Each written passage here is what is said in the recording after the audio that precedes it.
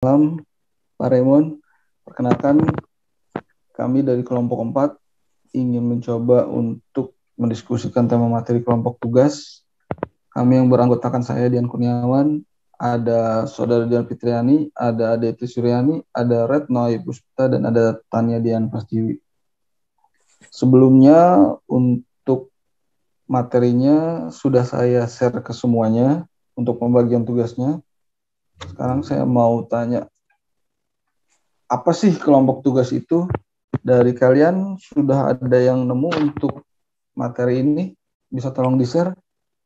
Kalau yang udah? Hmm, dia udah nemu nih Bang pengertian kelompok tugas.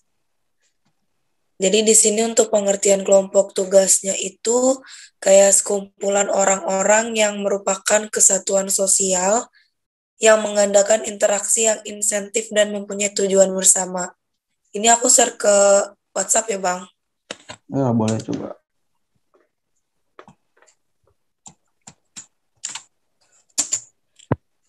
Udah masuk belum? Udah aku share. Sebentar.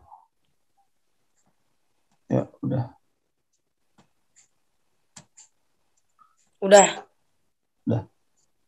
Dan uh, ada lagi? Dia, dia juga nemu nih bang uh, ada beberapa poin yang bisa menimbulkan kayak antar anggota kelompok itu dapat menimbulkan kerjasama apabila masing-masing anggota kelompok itu yang poin pertama mengerti akan tujuan dan dibebankan di dalam kelompok tersebut. Jadi dia mengerti nih bang tujuannya apa yang dibebankan. Nah yang kedua hmm. adanya saling menghormati di antara anggota-anggotanya. Yang hmm. ketiga, adanya saling menghargai pendapat anggota lain. Dan poin terakhir ini adanya saling keterbukaan, toleransi, dan kejujuran di antara anggota kelompok. Ini aku share juga ya. Boleh.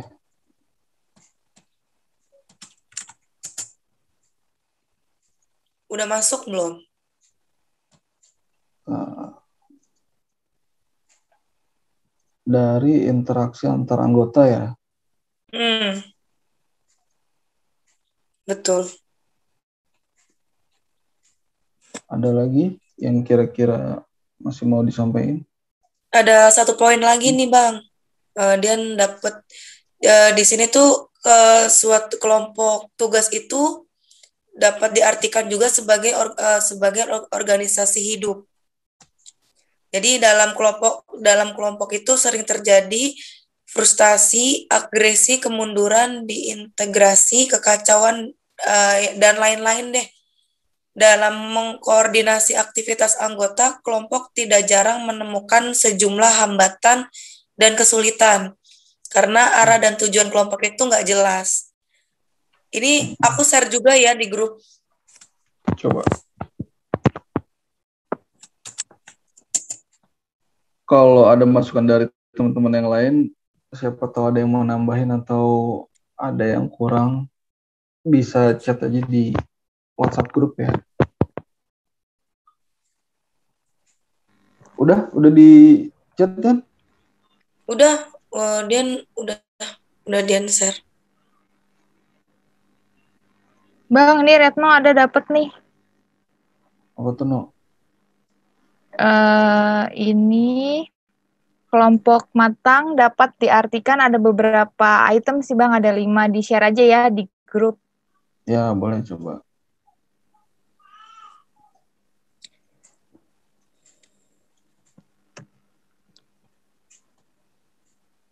Sekalian dibacain ya Bang ya?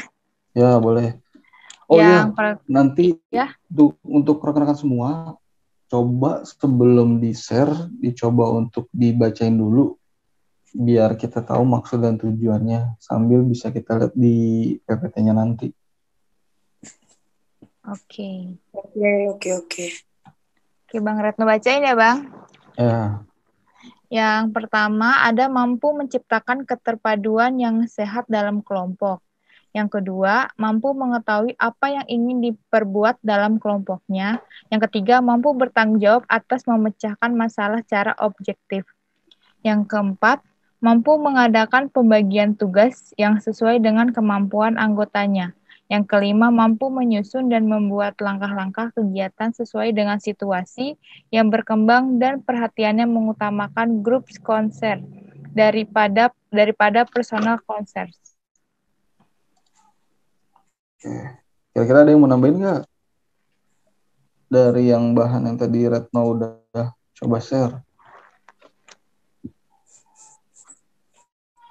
Dari teman-teman yang lain. Lu? Lu? Ada yang mau tambahin kira-kira? Ada lagi nih, Bang. Masih ada nggak itu? Ada, Oh. ada. Ini kan eh, kelompok itu kan ada dibagi menjadi dua jenis ya. Eh, Hmm. ada kelompok formal dan kelompok informal. Nah, di sini eh, Reto mau ngejelasin kelompok informal merupakan Hmm. kelompok yang dibentuk untuk menyelesaikan tugas tertentu. Individu-individu yang bergabung ke dalam kelompok tugas adalah kelompok yang bekerja sama dalam menyelesaikan tugas diarahkan oleh organisasi. Nah, Hmm. jadi kalau kelompok formal juga ada contohnya nih. Kelompok tugas dalam perusahaan manufacturing membentuk kelompok gugus kendali mutu atau quality control circle yang bertugas untuk menangani masalah-masalah kualitas. Hmm. Coba di share no di grup WhatsApp. No.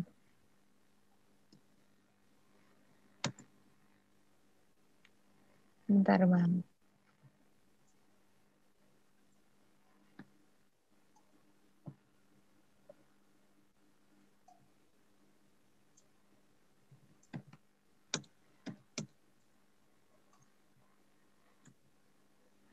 Tuh Bang, Retno share.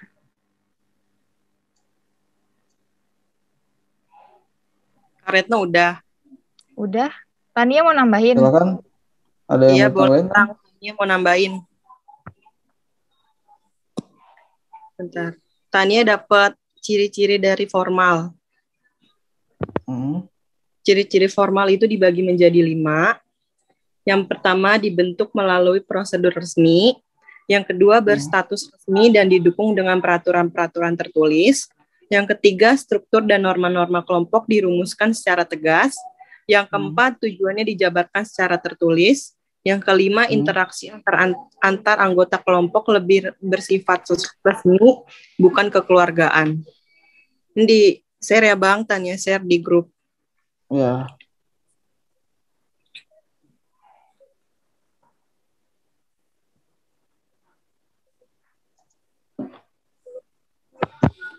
Udah? Udah di-share?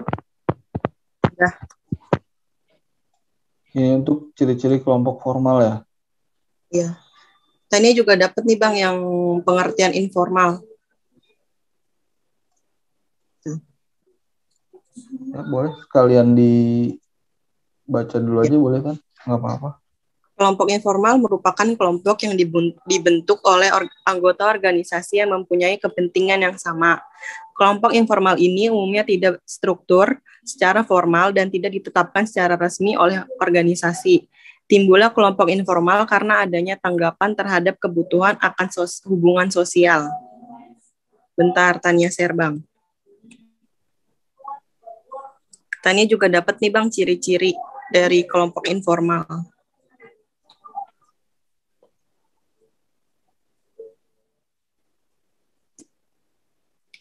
Di sini kelompok eh, ciri-ciri dari kelompok informal juga dibagi menjadi empat. Yang pertama, pembentukan tidak perlu melalui prosedur resmi. Yang kedua, anggotanya mem- mempunyai ikatan emosional yang kuat. Yang ketiga, dirumuskan secara tegas dan interaktif, interaksi. Yang keempat, para anggota lebih bersifat kekeluargaan.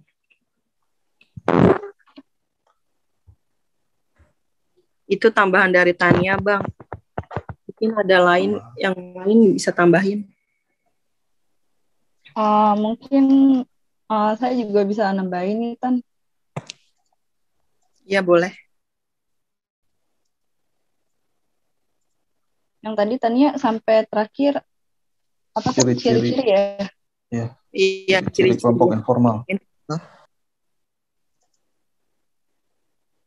Kalau dari ada sih uh, ada tambahan kayak aspek-aspek dinamika dalam kelompok, Bang. Hmm. Kayak ada tujuan kelompok, uh, peran fungsional anggota kelompok, sama suasana kelompok. Itu ada pengertian-pengertiannya sih.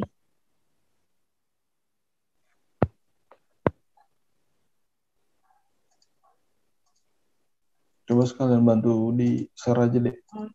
Buat uh, ada share di grup ya bang.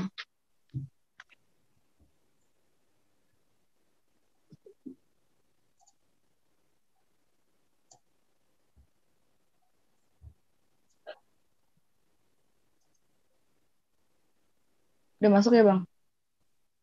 Udah. Nih di sini kan ada kayak tujuan kelompok ya pengertian tujuan hmm. kelompok itu merupakan gambaran tentang suatu hasil yang diharapkan uh, tercapai oleh kelompok. Uh, contohnya kayak pertama itu kayak ada kebutuhan dasar individu. Uh, hmm. Itu ada kebutuhan yang lebih tinggi hanya akan ada sebagai motivator dan tidak dapat terwujud bila kebutuhannya jenjang jenjang di bawahnya belum terpenuhi.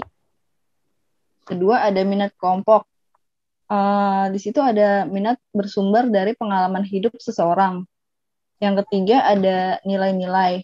Itu ada agar tujuan-tujuan yang ingin dicapai relevan dengan kepentingan anggota, maka kebutuhan dan tujuan hendaknya diseleksi menurut prioritas kebutuhan. Itu tujuan kelompok ya, Bang.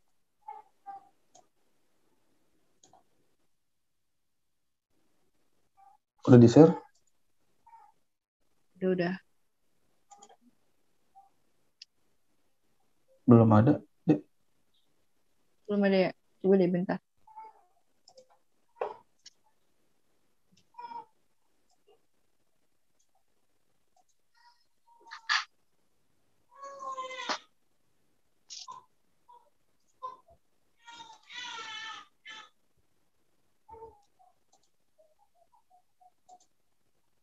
Udah masuk belum, Bang? Coba bentar. Tujuan kelompok ya? Mm-hmm. Selain ini ada lagi deh mau uh, ditambahin? Sih. Itu kan pertama aspeknya tujuan kelompok ya. Yang kedua kan ada kayak peranan fungsional anggota kelompok. Di situ ada pengertiannya sih kayak kelompok yang berstruktur biasanya telah memiliki pola hubungan yang stabil antara anggota kelompok terus kayak ada bentuk hubungan interaksinya gitu. Ada satu pengambilan keputusan. Yang kedua pembagian tugas pekerjaan. Yang ketiga ada komunikasi antar sesama anggota. Share di grup ya bang? Boleh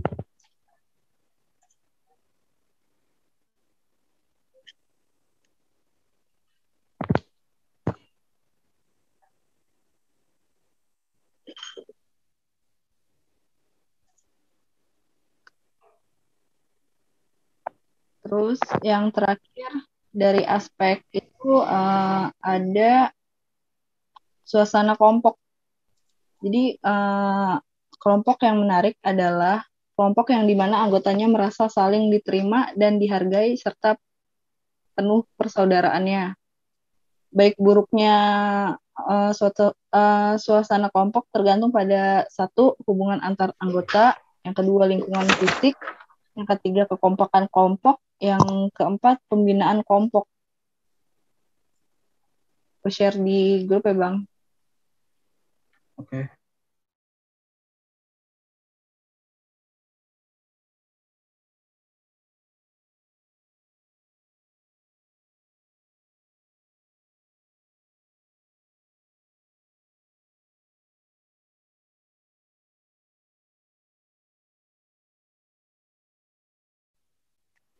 Halo. Ya, bang. Iya bang. Bentar.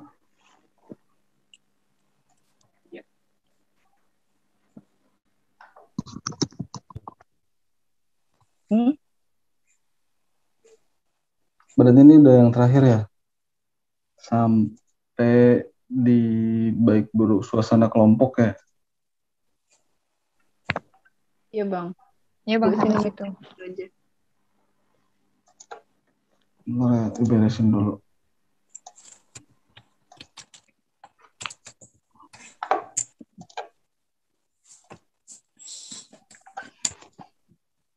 Udah, ada lagi? Apa ada yang mau ditambahin? Deh, Kayaknya bang. Cukup Cukup, kayaknya Bang. bang. Jadi menurut kami untuk kelompok tugas, jadi saya simpulkan untuk kelompok tugas adalah merupakan kumpulan orang-orang yang punya kesatuan sosial yang mengadakan interaksi yang insentif dan mempunyai tujuan yang sama. Untuk interaksinya ada banyak, ada macam-macam, ada arti dan tujuan yang oleh kelompok, adanya saling menghormati antara anggota satu sama lain. Untuk ciri-ciri kelompoknya ada dua, ada kelompok formal dan kelompok informal. Untuk masing-masing ciri-cirinya sudah saya sudah dibahas tadi oleh siapa Tania ya, Iya bang. oleh Tania. Dan untuk ciri-ciri informal juga sama. Adapun aspek-aspek dinamika antar kelompok, pertama tujuan dari kelompok itu sendiri, kedua peran fungsional anggota kelompok dan suasana di dalam kelompok itu sendiri.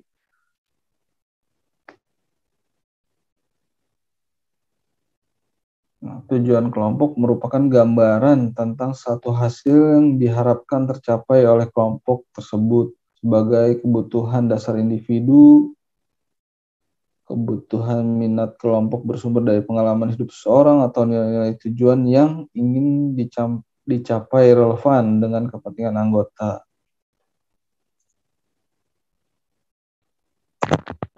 Untuk suasana kelompok, ya pastinya juga baik dan tergantung kelompok itu sendiri. Bagaimana cara berhubungan baik antara anggota, tahu lingkungan fisik dan kekompokan dalam kelompok serta pembinaan kelompok. Jadi menurut kami kelompok 4 cukup sekian Pare. Jika ada yang salah atau ada yang masih kurang mohon dimaafkan. Jauh lebihnya kami ucapkan terima kasih. Assalamualaikum warahmatullahi wabarakatuh. Selamat malam Pare.